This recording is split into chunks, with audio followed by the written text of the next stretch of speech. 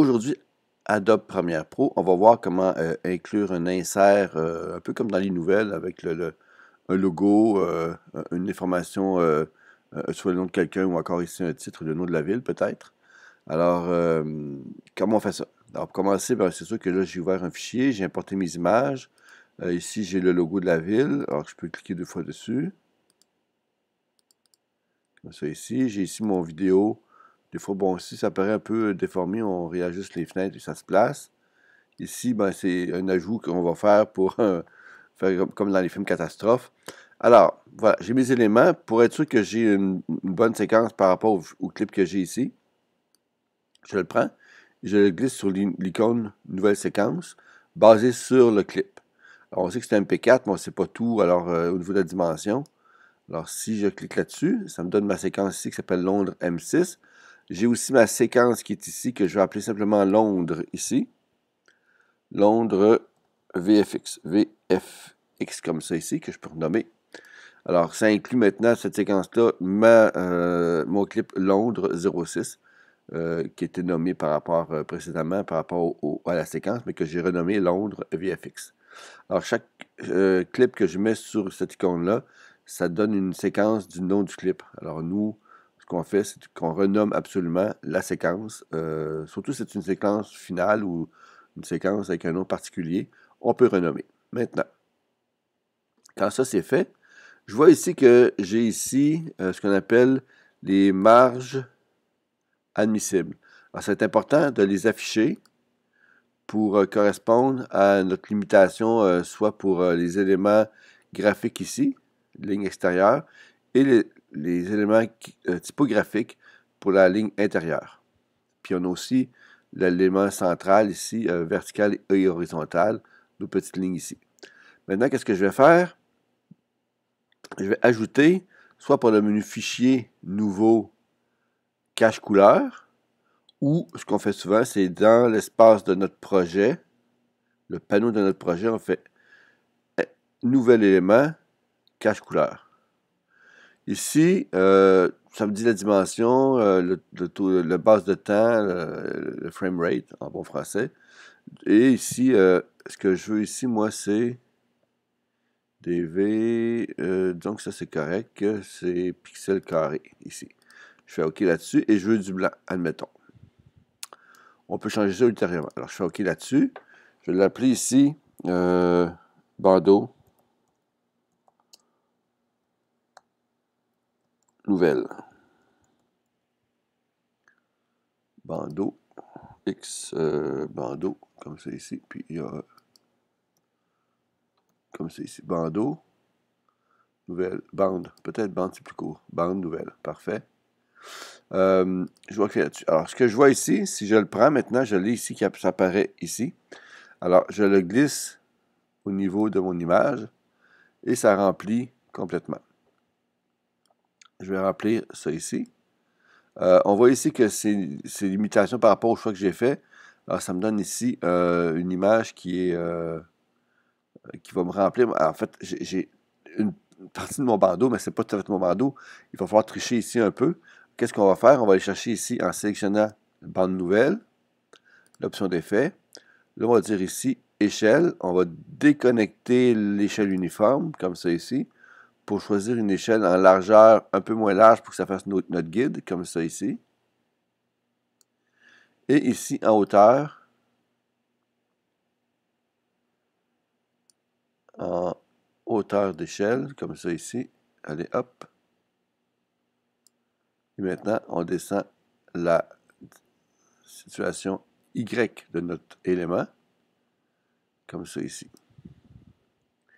Alors, ça, c'est comme ça qu'on fait un bandeau basé sur une cache couleur.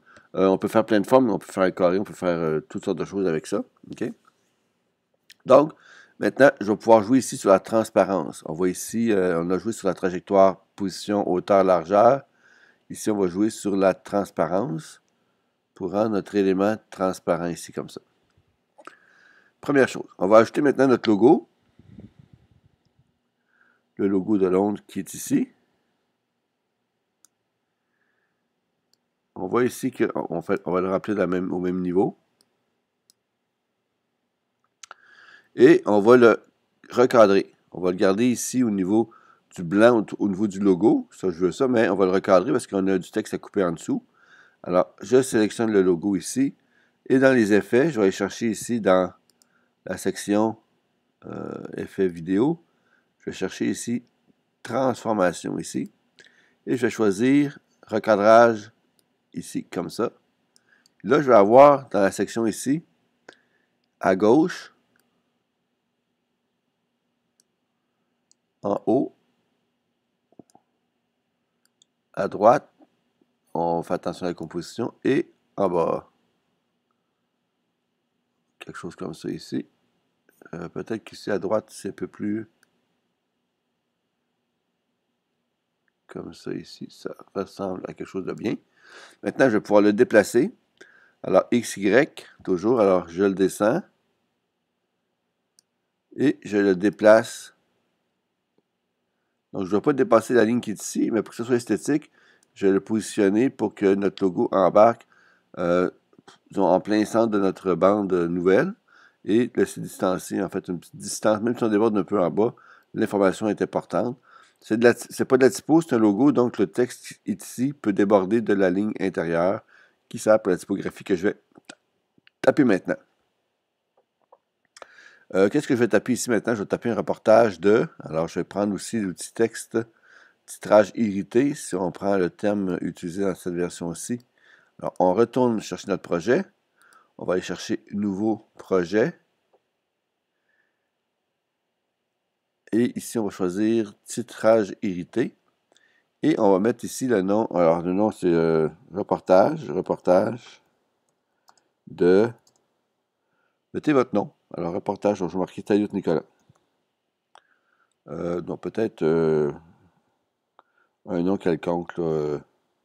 Roger. Euh,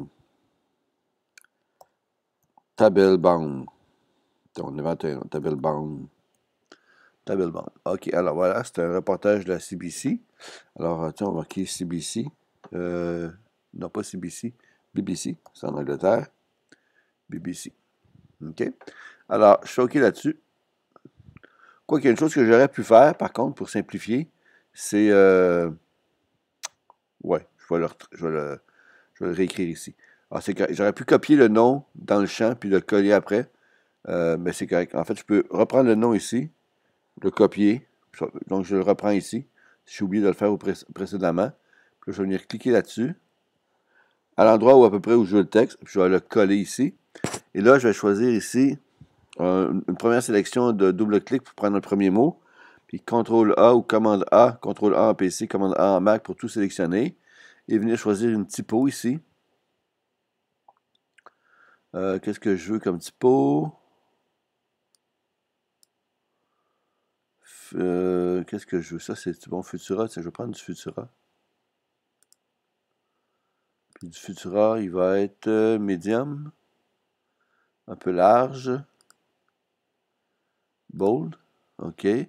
Un peu large aussi, mais intéressant. Donc, on va réduire ici la typo. Donc, soit par en haut ici, ou encore, on a toutes les options ici de, transformation, typo, etc. Nous, on va faire ici, euh, on va y aller par ici pour le plus simple. On va y aller comme ça ici. Puis on va peut-être prendre la couleur bleue, la couleur bleue de notre logo ici, comme ça ici. Alors c'est un peu pâle, donc on va aller chercher un, bleu un peu plus foncé, comme ça ici, presque noir, tiens. Euh, c'est pas tout à fait ça. Alors non, ça c'est le fond. Si je vais chercher du noir, qu'est-ce que ça me donne? OK. Je suis à 100%.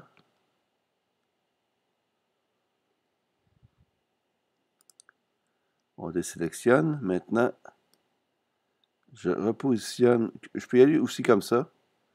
Euh, peut-être que le blanc ici en arrière, il est trop, euh, trop pâle. Alors, on va rechercher ici. On peut, fermer ça temporairement parce qu'on peut le réouvrir de toute façon. On sélectionne la bande nouvelle, puis on va aller chercher ici euh, l'opacité. peu plus forte, comme ça ici.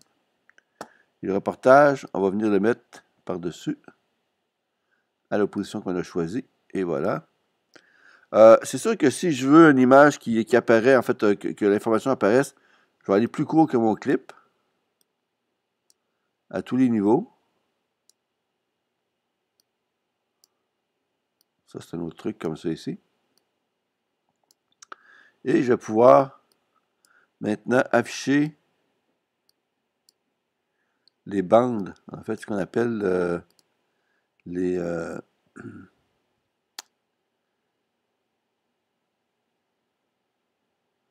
les images clés vidéo, ici.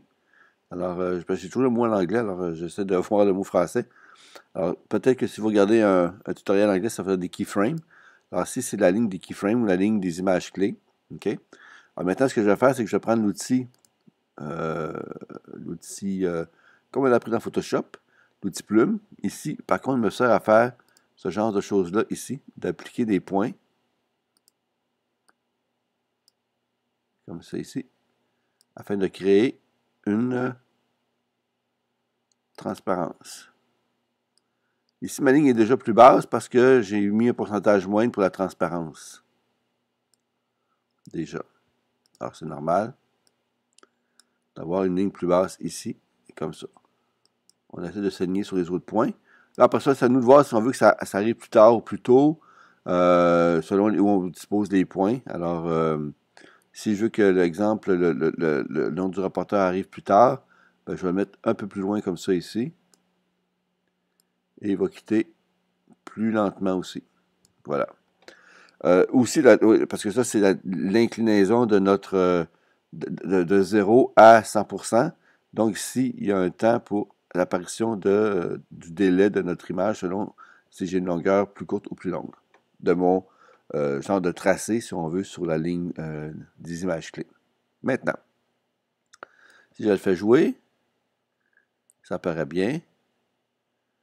Je pense que je vais revenir au bleu. Euh, puis je pense que le nom va être normalement comme les autres. Comme ça. Puis je vais revenir au bleu pour notre personnage, le nom du reporter. Alors, reporter, je viens chercher du bleu. Et voilà.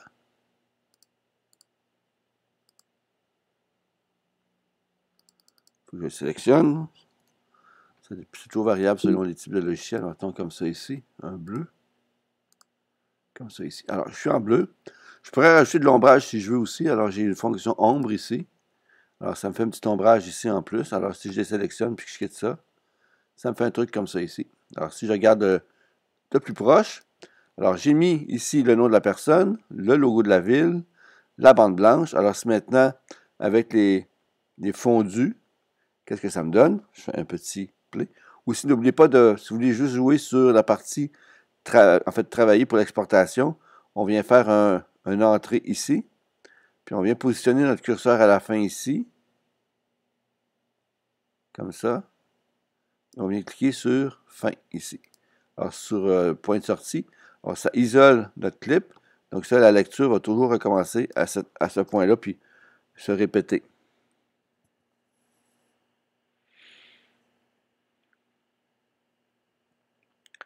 Alors voilà, c'est un reportage de Roger Tablebaum.